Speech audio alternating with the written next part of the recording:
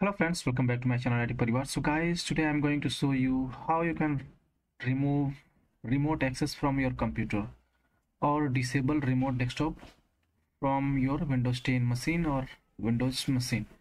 So before going ahead I want to request you if you have a new user for my channel and if you have not subscribed yet IT Parivar please subscribe and click on the bell icon so that whenever I'll upload the new videos you will get the notification.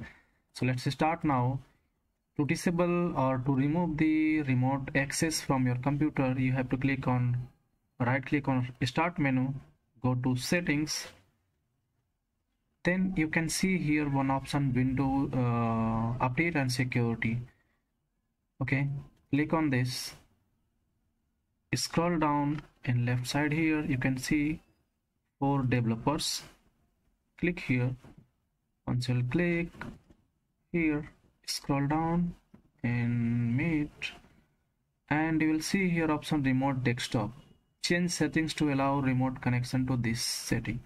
Okay just uncheck this option and apply. If you want you can click here to show settings.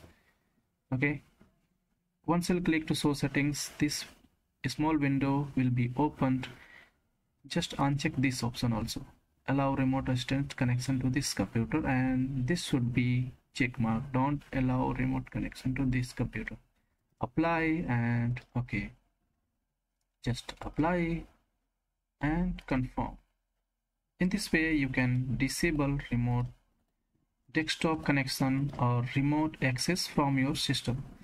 Thanks for watching IT Parivar. Bye bye